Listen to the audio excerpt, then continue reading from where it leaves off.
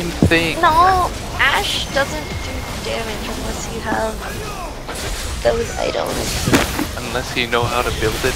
Mm-mm. My build's actually normal. It's just that I'm not normal.